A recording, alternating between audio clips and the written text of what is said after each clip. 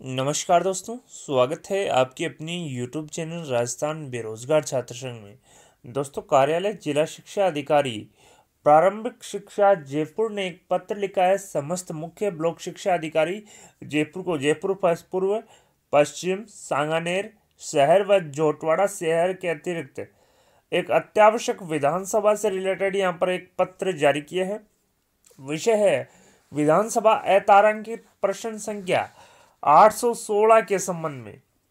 जी हाँ दोस्तों, यहाँ पर लिखा गया है कि विभिन्न विधानसभा तारांकित प्रश्न संख्या 816 के क्रम में पंचायत सहायकों के प्राप्त आवेदनों के संबंध में प्रत्युत्तर प्रस्तुत किया जाना है।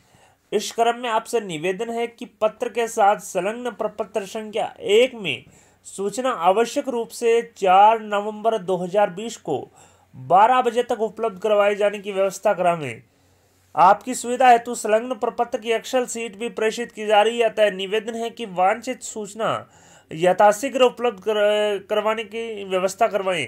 जी हाँ दोस्तों, पंचायत सहायकों से रिलेटेड यहाँ पर सूचना मांगी है। कार्यालय, जिला शिक्षा अधिकारी, मुख्यालय, प्रारंभिक शिक्षा जयपुर ने।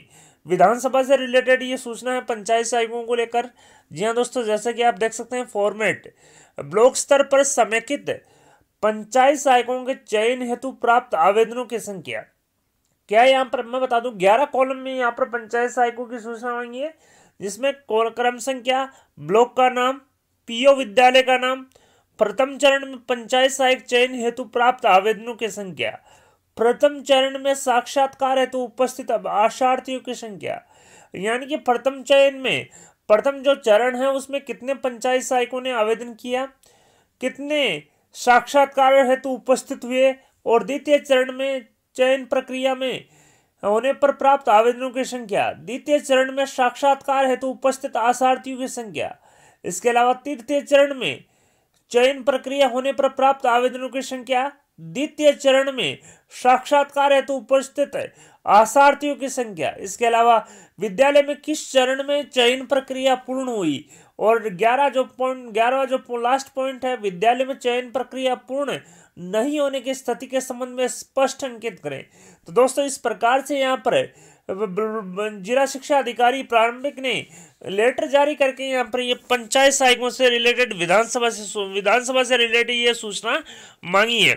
और दोस्तों, ये जो सूचना है, वो चार नवंबर तक आवश्यक रूप से भिजवाने के लिए यहाँ पर लिखा गया है। जैसा कि आप देख सकते हैं, समस्त मुख्य ब्लॉक शिक्षा अधिकारी को ये पत्र लिखकर पंचायत सहायकों से रिलेटेड सूचना मांगी है।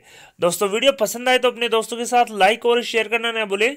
आपके अपनी यूट्यूब चैनल राजस्थान बेरोजगार छात्र संघ को सब्सक्राइब या सब्सक्राइब में धन्यवाद दोस्तों thank you for watching Rajasthan बेरोजगार छात्र संघ